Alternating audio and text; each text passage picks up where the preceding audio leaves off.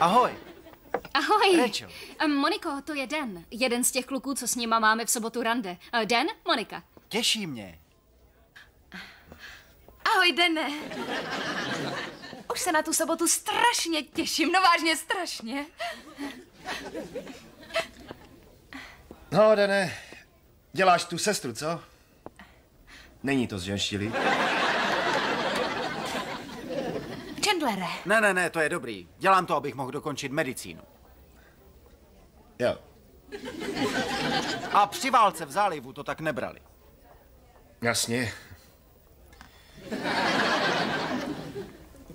Tak dík za to, co jste pro nás udělali. no a proč až v sobotu? Zítra by to nešlo? Ale jo, jenom si prohodím službu. A ah, senza. Hele, a co my dva? Sobota večer. Ne. Výborně, fajn.